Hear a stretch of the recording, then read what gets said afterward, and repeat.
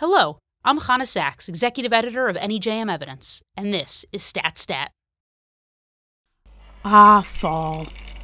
There's a chill in the air, and your thoughts turn from 4th of July fireworks and long summer nights to apple cider and Halloween.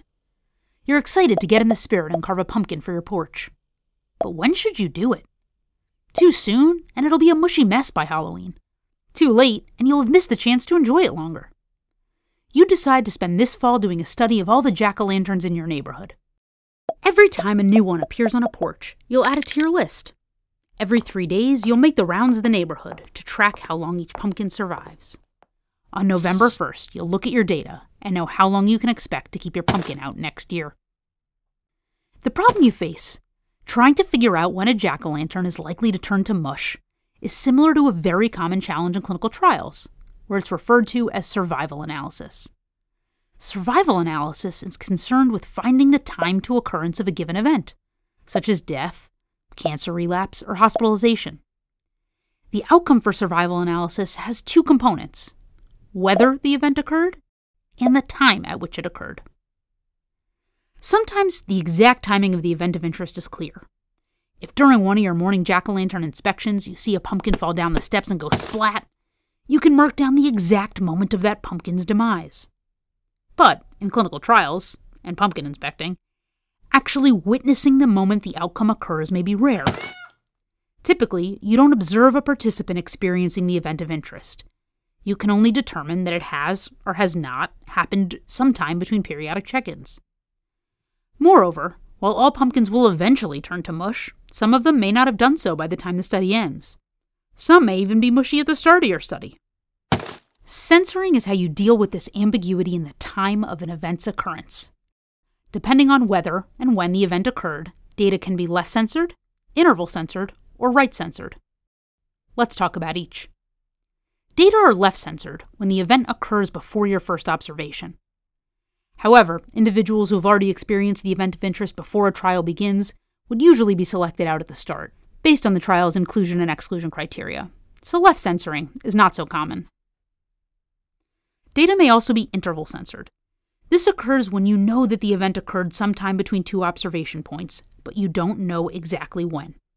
For example, you're only checking on the neighborhood pumpkins twice a week. So if you see one that's mushy one morning that was fine three days before, you don't know exactly how long it lasted between those time points. But you do know that no event had occurred by your previous check in. So the true pumpkin survival time is greater than the last check in, but less than or equal to the current check in, yielding an interval which includes the true but unknown survival time. Data are right censored for participants who didn't experience the event at all by the end of the study period. Up until the point of right censoring, the study end time, they were at risk for the event of interest but did not experience it. Their observed survival time goes from the moment they entered the study until the study's end. Their actual, longer survival time is censored, it's not observed. Now that you understand these types of censoring, let's look more closely at survival analysis. Consider a set of survival times, a list of participants, here pumpkins, and the sequence of observations in which they were event free. That is, not mush. The probability of surviving to a given observation time can be calculated by multiplying the probabilities of surviving in each of the intervals leading up to the given interval times the probability of surviving in that interval. The individual probabilities for each interval are given by 1 minus the number of events in the interval divided by the number of participants surviving to the start of that interval. This series of products is the basis of the Kaplan Meier approach, and it yields a cumulative survival probability, or survival function. When plotted, it's often referred to as a Kaplan Meier survival curve. Because it is assumed that the survival probability is constant between observations of events, this curve has a stair step appearance. From this curve, it's possible to determine, for example, the time at which the probability of survival has dropped to 50%, known as the median survival time. Beneath these graphs, investigators report the number of participants who are still at risk for the outcome. With all this in mind, you're ready to start your pumpkin survival study. You plan to use the median survival time to choose when to put out your jack o' lantern next year. Of course, a Kaplan Meier curve is just the start of survival analysis maybe you'll want to be able to compare curves. Given two curves, maybe one for pumpkins with candles and one for those without, Can you tell if candles change survival times in a meaningful way? We'll get into those comparisons another time.